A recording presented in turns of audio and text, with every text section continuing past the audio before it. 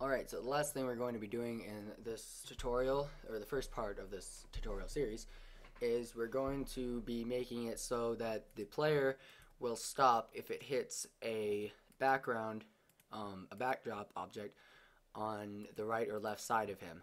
So in order to do that, first we have to make backdrop objects on the right and left side of him. So let's clone this and we'll create two actually no let's create one. And we will change the size so that it is a barrier on the right side. And then we'll clone that one. And we'll make a barrier on the left side. And now we've got our two barriers. Um, now we have to add two new objects.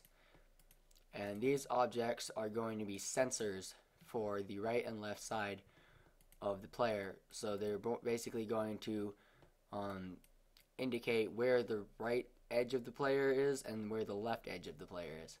So if we double click on an active object that we insert, you delete this and let's fill it with a solid color. Let's say red. You can do whatever color you want. Actually, no, not red because we already have red. Uh, let's do blue and you want to modify the size. Let's do that in here actually. Let's make it height of let's do let's try 8 and width 2 let's try that and make sure you have stretch applied and that looks pretty good. That'll work. Um, ah. so now we just want to, I can click on it, it's really small. Clone this object and double click on the new one and make it a different color, say yellow. Alright, so these are our two sensors. So the blue one will make it the right sensor, so let's rename it. Go over to our yellow, yellow tab here and click on the name and name it right sensor. And then the yellow one, we'll name it left sensor. There we go. So we got our two sensors. Now we have to make it so that the sensors are following the object so they their position changes with the object. So to do this, let's create a new always command. So always, and then under the blue, the right sensor, we'll do position, select position, click on the player to make it relative, and then you'll want to check the size of your player um, and, and where your and depending on where your hotspot is of your player, you are going to make it be the exact right middle of a position on the player. So for me, because the because it's the, the default and it's 32 by 32, the hotspot is up in the top left corner. We're going to make X32 to make it all the way on the other side, and then we're going to make y16 to bring it right down to the middle.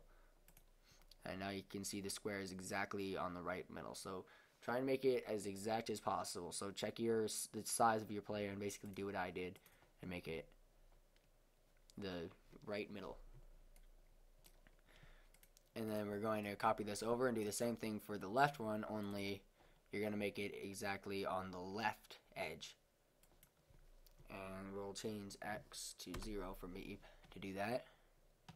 Depends on what your, if it's just the default uh, diamond, then it'll be the exact same thing. But make sure if you ever change um, um, the hotspot of the player or the size of the player or even what it looks like, just um, basically it, it doesn't, well, it doesn't necessarily have to be exact, but it just, it's this um, where the sensor is indicates the right side of the player. So you just want to put it on the right side of where what it looks like the right side of the player is to the player. So like you can't have the player be like this like you can't have the player be this and then have the right sensor be like over here because then he'll collide with the wall over here and that won't make any sense for your game.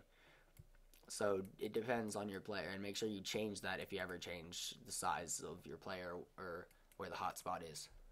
So, um, so now if we try this, you can see the sensors are there, but they're kind of hanging down a little bit, and that's because we haven't modified the hotspot of the sensors.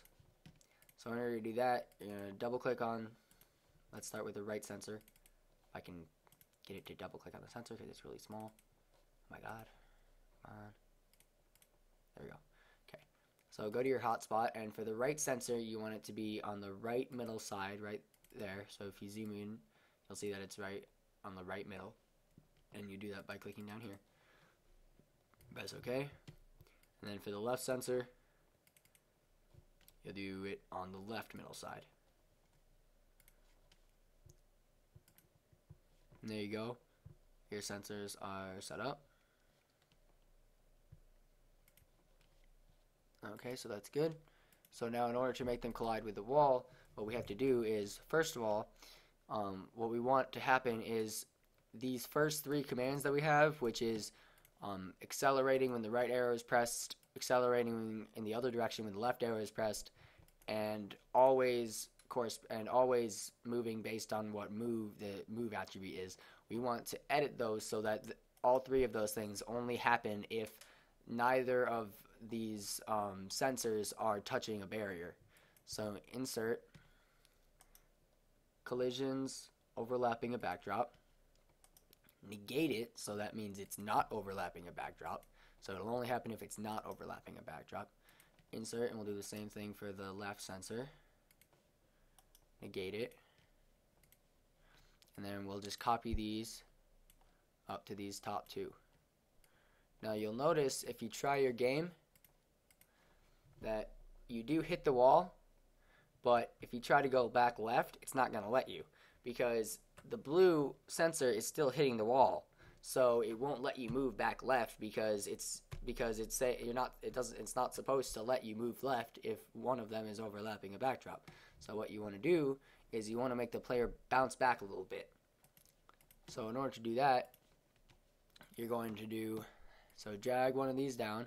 We'll start with the right sensor renegate it so that it's back to normal. So it's just when it's overlapping a backdrop. So if this is overlapping a backdrop, then it will move the player right a little bit or left a little bit.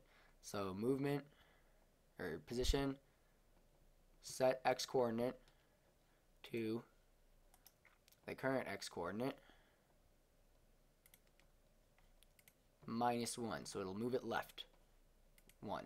And it will continue to move it left 1 until it's no longer overlapping a backdrop. And then we'll do the same thing for the left sensor. We'll drag this down and edit it so it's plus 1.